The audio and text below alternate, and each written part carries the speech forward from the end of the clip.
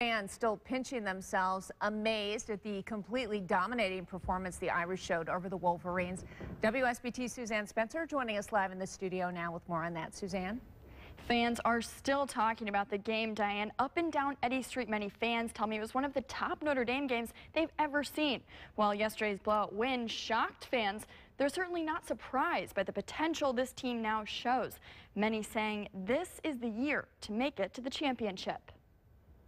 The crowd roared as Notre Dame's win against Michigan went down in the record books. Fans raving about Notre Dame's offensive game. Their offense seems to be much more in tune with each other um, than last, more so than last year. Much of the success of the offense due to Everett Golson.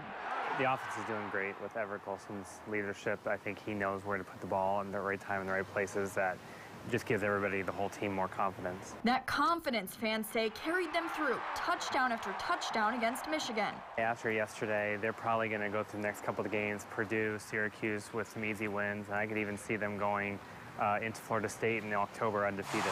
Many say Golson's leadership is key to a team that is rebuilding with four key players missing from the field due to an investigation into academic dishonesty.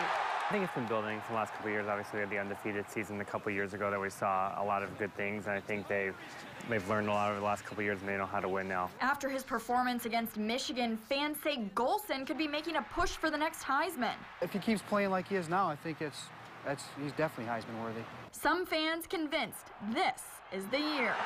I think Notre Dame has a shot to to do well, maybe even make the college playoff by the end of the year.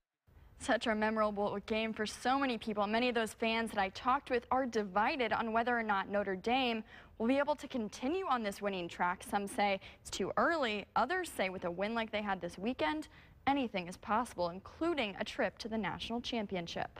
In the studio, Suzanne Spencer, WSBT Channel 22 News.